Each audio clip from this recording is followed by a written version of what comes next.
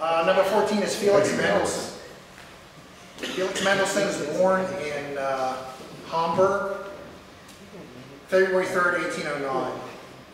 He was he comes from a Jewish family, but he's baptized as a Lutheran in 1816. So pretty much his whole life he's a Lutheran. However, he was discriminated against most of his life because everybody considered him a Jew. But he, he actually wasn't, he was a Lutheran. Uh, he wrote his first symphony in 1824, so he would have been all of, what, 15 years old? Do I have that right? 11? 15 years old, he wrote his first symphony.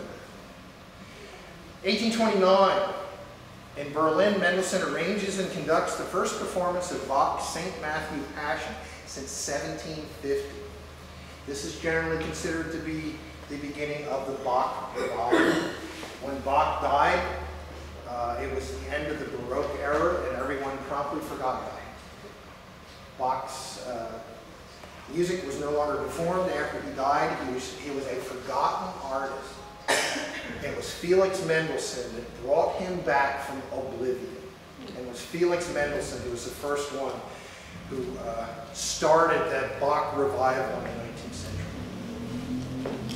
1833, he was appointed a musical director in Dusseldorf, and he directed a performance of Handel's oratorio Israel in Egypt. This caused a rebirth of interest in Handel in Germany. 1836, in Leipzig, the first performance of the oratorio St. Paul, uh, which he wrote. 1837, he marries Cecile Charlotte Sophie Jean Renaud. They would have five children together.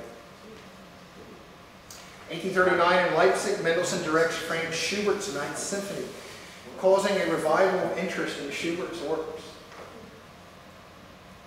1843, Mendelssohn founds the Leipzig Conservatory, which is still in existence today. 1846, in Birmingham, England, the first performance of his oratorio Elijah, which is the, uh, the work he is most known for today. November 4th, 1847, he dies at age 38 in Leipzig of a stroke. And in the 20th century, if we're going to pick a single reason why Mendelssohn belongs on this list, his works were banned by Adolf Hitler. I can't think of a, a, greater reason to include him on our list as one of the great influences of Christian music. But he was discriminated because he was born a Jew and became a Christian? Yes. How do people who do that reconcile Peter, Paul, Matthew, yeah, all the apostles John? Jews. and uh, so, some of you may have heard the, him referred to as Felix Mendelssohn Bartholdy. Well, it, he dropped the Mendelssohn part because it sounded Jewish, and he kind of made up this name Bartholdy, and uh, that's how he referred to himself most of his life. Um, as I said, he was baptized as a Lutheran in 1816.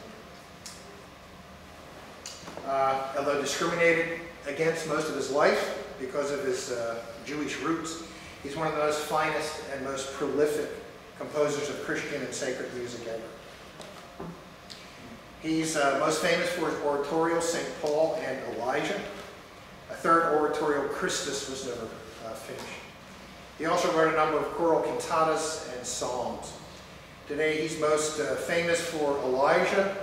Uh, the big hit from Elijah is He Watching Over Israel, which uh, we may have a chance to, to play here in a moment. He also wrote the tune used with Charles Wesley's Hark the Herald Angels Sing.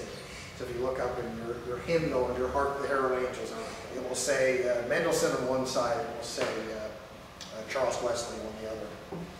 Later in life, he had a close association with renowned soprano Jenny Lind. I'll say that again. Later in his life, he had a close association, are we getting it, with uh, uh, renowned soprano Jenny Lind. He may have asked her to elope with him in 1847.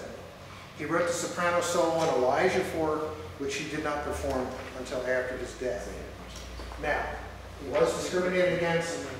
He did uh, face some difficulties. But on this particular issue, that's his wife. She's pretty. Very attractive. Really pretty. Jenny Lind was considered one of the great beauties of his age. So uh, in some areas he was doing all right. I wouldn't feel too sorry. put hashtag Jack when you go with your That's it. He's a little too fast for tonight. Now, if you could see the slide, oh, there it is, there it is. Uh, so, it- those were the two women in his life, and uh, I would say both of them are pretty attractive.